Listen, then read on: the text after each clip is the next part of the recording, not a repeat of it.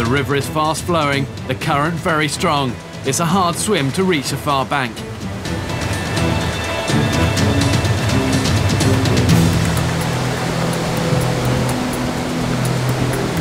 Now I'm hit by chilling winds blowing straight down the gorge from the Appalachian Mountains.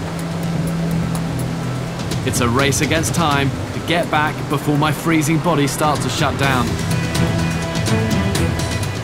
tarpaulin generates immense drag. It's slowing me and pulling me downstream. Man alive!